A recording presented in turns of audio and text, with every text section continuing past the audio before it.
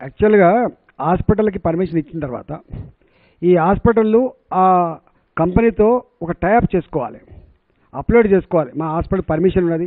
మా హాస్పిటల్కి ఇంతమంది పేషెంట్లు వచ్చే ఆస్కారం ఉంది. మా బెడ్ల కెపాసిటీ ఇంత అని చెప్పి పెట్టుకోవాలి. జిఎస్టీ ఉండాలి. వీళ్ళకు జిఎస్టీ ఉండాలి. కానీ చాలా హాస్పిటల్కి జిఎస్టీలు ఇవన్నీ ఏం లేక వాళ్ళకు ఆ అగ్రిమెంట్ పరమైనటువంటి ఇష్యూస్లలో కంపెనీ కంపెనీ మధ్య జరిగేటువంటి అగ్రిమెంట్ పరమైన ఇష్యూలలో కొంత ఇబ్బందులు తప్ప అదర్వైజ్ ఇప్పుడు వీరు మల్లారెడ్డి గారు ఉన్నారు. వీరు హాస్పిటల్ మల్లారెడ్డి గారు హాస్పిటల్. వాళ్ళకి సరిపోని మాకు ఏం ఇబ్బంది లేకుండా సరిపోని వస్తున్నాయని చెప్తున్నారు. గవర్నమెంట్ దగ్గర ఎక్కడ ఇబ్బంది లేదు. ఇలా ఇట్లాంటివన్నీ ఫుల్ఫిల్ చేసుకున్న దగ్గర ఏ ఇబ్బంది లేదు. కానీ ఎవరైతే చిన్న చిన్న హాస్పిటల్స్ కలిగి జిఎస్టీ లేక రిజిస్ట్రేషన్ లేక వాళ్ళ దగ్గర పోలేక పరిశుద్ధి చేసుకోలేక అట్లాంటి వాళ్ళకి ఇబ్బంది అవుతుంది. మేము ఒక ఇలా మా మినిస్ట్రీ కింద ఇట్లాంటి ఎక్కడైనా బాగా ఎమర్జెన్సీ ఉన్నప్పుడు ఓ అని చెప్పి మొత్తుకొని నన్ను చచ్చిపోతున్నాం అన్నప్పుడు మేమే ఆ కంపెనీతో మాట్లాడి అప్పుడప్పుడు కొంత ఇప్పించే ప్రయత్నం కూడా కౌంటర్ పెట్టించి ఇప్పించే ప్రయత్నం కూడా చేస్తా ఉన్నాం. ఇవాళ ఈ హాస్పిటల్ ఏవైతున్నాయో రెమెడిసిన్ తీసుకొని రండి లేకపోతే ఆ రెమెడిసిన్ బ్లాక్లో కొనుకొచ్చుకోండి అంటే కంపెనీ హాస్పిటల్ ఏవైతున్నాయో వాళ్ళు తక్షణమే ఈ చిన్న చిన్న ఇష్యూలను పరిష్కరించుకొని ఆ కంపెనీలు మ్యానుఫ్యాక్చర్ దగ్గర ఎంట్రీ చేసుకొని నీకు ఎంత అవసరం ఉందో అంత తీసుకొచ్చుకోవాలని చెప్పి మేము కోరుతా ఉన్నాం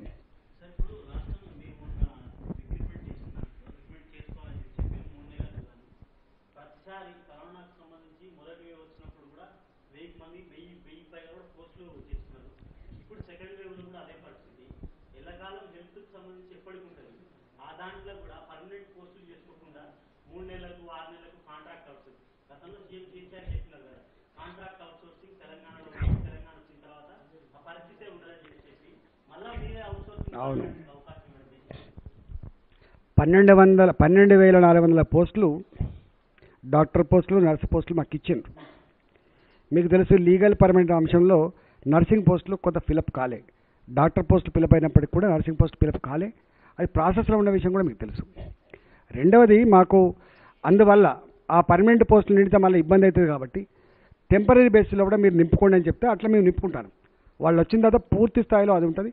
రెండోది కూడా ఏంటంటే మన కొన్ని పర్మనెంట్ పోస్ట్ కూడా ఇచ్చిండ్రు. మన కోవిడ్ సందర్భంగా కొన్ని పర్మనెంట్ పోస్ట్ కూడా ఉన్నాయి.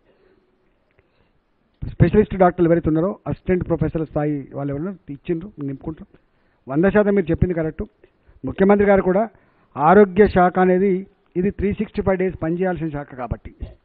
దీనికి సండే లేదు దీనికి మండే లేదు. సీజన్తో సంబంధం లేదు ఎప్పుడు పేషెంట్ ఉంటేనే ఉంటారు కాబట్టి. Dialysis patient three sixty five days dialysis పేషెంటే heart patient three sixty five days heart పేషెంటే sugar BP patient పేషెంటే కాబట్టి. అలాంటి వాళ్ళకు మెరుగైనటువంటి వైద్యం అందించాలని చెప్పి వారు పర్మనెంట్ కోసమే మాకు ఇచ్చిండ్రు. ఇంకా ఇవ్వడానికి వైద్య ఆరోగ్య శాఖకు ఎన్ని కోట్ల రూపాయలైనా ఖర్చు పెట్టడానికి గౌరవ ముఖ్యమంత్రి గారు మాకు అనుమతి ఇచ్చి ఉన్నారు కాబట్టి స్వయంగా అసెంబ్లీలో ప్రకటించి ఉన్నారు కాబట్టి మాకు ఆ ఇబ్బంది లేదు. రాబోయే కాలంలో పూర్తి స్థాయిలో పిఎస్సి స్థాయి నుంచి మొదలుపెట్టి ఇక్కడ దాకా ఆశా వర్కర్ నుంచి మొదలుపెట్టి సబ్ సెంటర్ల వరకు కూడా ఎక్కడ ఖాళీ లేకుండా నింపుకుంటాం మేము ఆరోగ్యశ్రీ విషయంలో ఆరోగ్యశ్రీ విషయంలో కాంగ్రెస్ ఎమ్మెల్యే సీతక్క వ్యాఖ్య చేస్తుంది గతంలో సీఎం కేసీఆర్ కూడా అసెంబ్లీలో హామీ ఇచ్చింది ఖచ్చితంగా కరోనాను ఆరోగ్యశ్రీలో చేస్తామని చెప్పి ఇప్పటివరకు కూడా ఇంతవరకు చేస్తలేదు యాక్చువల్గా ఆరోగ్యశ్రీను ఈ మన కేంద్ర ప్రభుత్వం ఉన్నటువంటి ఆయుష్మాన్ భారత్. ఈ ఆయుష్మాన్ భారత్ రెండు కూడా కామన్గా ఉండేవి అందులో ఉండేవి ఇంట్లో ఉండేవి తీసి యాక్చువల్ థర్టీ ఫస్ట్ మార్చ్ లోపే వాళ్ళు అనౌన్స్ చేసిండ్రు. ఈ నెల చేయాల్సి ఉండే మేము. ఈ రెండిట్లో ఇవన్నీ చేయాల్సి ఉండే. ఈ కోవిడ్ వల్ల మాకు తీరా కొంచెం చేస్తలేం. త్వరలోనే అది ఆయుష్మాన్ భారత్ని అదేవిధంగా ఆరోగ్యశ్రీని రెండింటిని కలిపి ఒక స్కీమ్ అంటే ఉన్న స్కీమే కానీ దీంట్లో ఏంటి దాంట్లో ఏంటి చేసే ఆస్కారం ఉంది. రెండవది ముఖ్యమంత్రి గారు స్వయంగా చెప్పి ఉన్నారు. ఏమని ఆరోగ్యశ్రీలో చేర్చమని చెప్పి కోరినప్పుడు పరిశీలన చేస్తాం తప్పకుండా అని చెప్పిండ్రు. దాని ఒక కమిటీ వేసి దాని విధి విధానం ఏంటి దాని కథ ఏందో చూసిన తర్వాత చేస్తామని చెప్పిండ్రు. వారు వారికి ఆ విషయంలో పూర్తిగా అవగాహన ఉంది.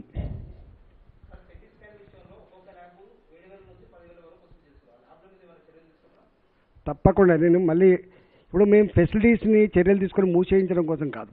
మీకు తెలిసి ఇలా సిటీ స్కాన్లు కావాలంటే వెంటనే రావు. నీకు హాస్పిటల్ బెడ్ కావాలంటే వెంటనే రావు. ఐసీయూలు కావాలంటే వెంటనే రావు. ఉన్న ఫెసిలిటీస్ని ప్రజలకు అందుబాటులో ఉంచి మీరు చెప్పినట్టుగా చర్య కొంత వాళ్ళకు కనీసం బ్రెయిన్ వాష్ అని చేసి మనిషి లెక్క బిహేవ్ చేయమని చెప్పి ఇట్లాంటి ప్రయత్నం చేస్తున్నాం మేము. మాది మేము కమిటీలు కూడా వేసుకొని కొంత అక్కడక్కడ చెక్ చేస్తున్నాం. కలెక్టర్లు కూడా నిరంతరంగా దీని మీద దృష్టి పెట్టిండ్రు. కొన్నిటి మీద మేము కొంత మందలి చురుగా జరిగింది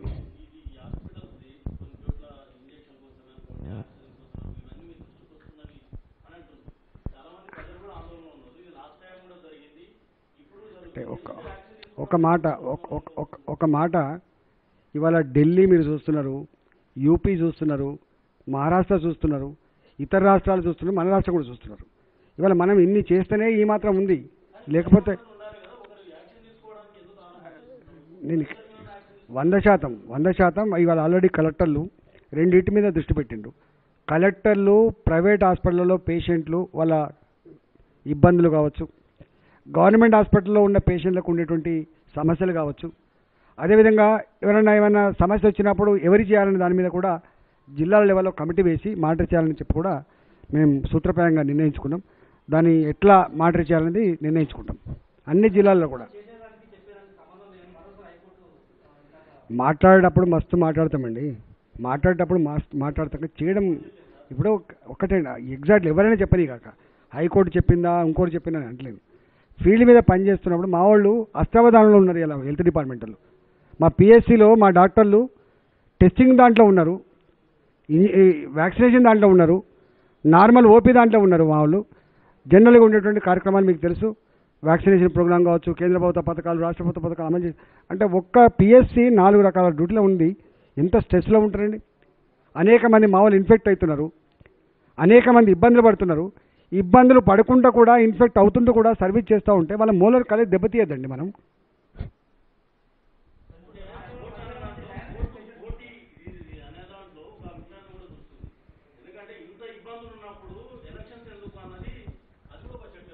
అయిపోతాయి కదా స్థానిక సంస్థలు రేపు అయితే అయిపోతాయి.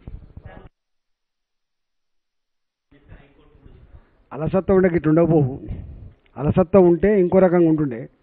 పగడబందీ కట్టడి చేస్తున్నాం కాబట్టే నిరంతరంగా పర్యవేక్షిస్తున్నాం కాబట్టి ఈ మాత్రం ఉంది. లేకపోతే మహారాష్ట్ర లెక్కనే అవుతుండే.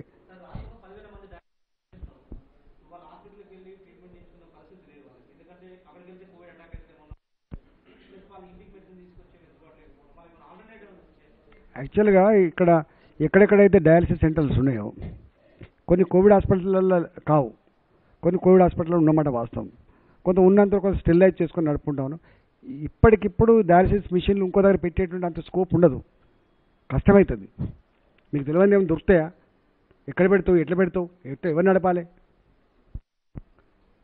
అయినా కొంత కోవిడ్ పేషెంట్లలో డయాలసిస్ ఉన్నారు చూసిందా? గాంధీలో చేస్తున్నాం మేము. అట్లా కొన్ని కమాండ్ కొన్ని అంటే చేస్తున్నాం. ఎక్కడైతే కోవిడ్ పేషెంట్ అక్కడ సీరియస్గా పని జరుగుతుంది. ఆలోచన చేస్తాం తప్పకుండా. అదేందో.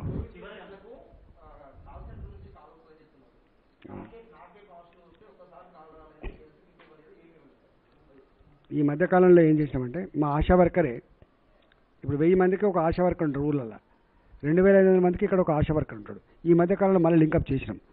మా ఆశా వర్కర్ ఎప్పటికప్పుడు పరిచయం చేస్తుంది. అక్కడ ఉన్నటువంటి సబ్ సెంటర్ ఏఎన్ఎంలు ఉంటారు. వాళ్ళు కూడా పరిచయం చేస్తారు. హైదరాబాద్లో కూడా వ్యవస్థ ఇప్పుడు మళ్ళీ పాత పద్ధతులు మళ్ళీ చేస్తూ ఉన్నాం. ఒకేసారి అయితే brother within fifteen days పక్కన కేసులు పెరిగి ఆగమయం అయిపోయాయి. ఇదేనా? మూడు నెలలు నాలుగు నెలలు టైం ఇచ్చిందా మనకు?